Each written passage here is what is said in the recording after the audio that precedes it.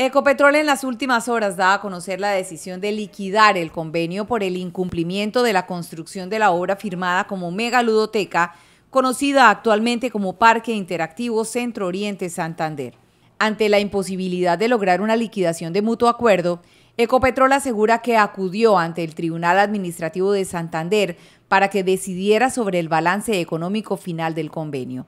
El convenio se suscribió el 13 de diciembre de 2012 que tuvo por objeto la construcción del parque interactivo con un plazo de 15 meses a partir del acta de inicio que nunca se materializó por falta de requisitos necesarios para la ejecución que no se logró cumplir. Ecopetrol en las últimas horas da a conocer su gestión para liquidación del convenio por el incumplimiento de la construcción de la obra firmada como ludoteca, conocida actualmente como Parque Interactivo Centro Oriente Santander, ante la imposibilidad de lograr una liquidación del mutuo acuerdo, Ecopetrol asegura que acudió ante el Tribunal Administrativo de Santander para que decidiera sobre el balance económico final del convenio.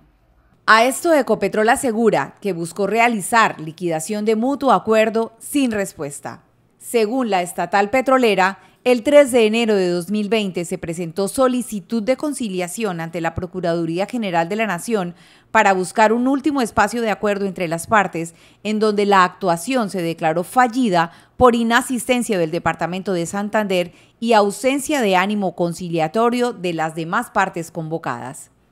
A pesar de que esta situación se encuentra en conocimiento judicial, Ecopetrol dice encontrarse en disposición de generar los espacios de conciliación judicial que puedan lograr un balance económico final que permita el cierre del convenio de la mejor manera para las partes y para el proyecto.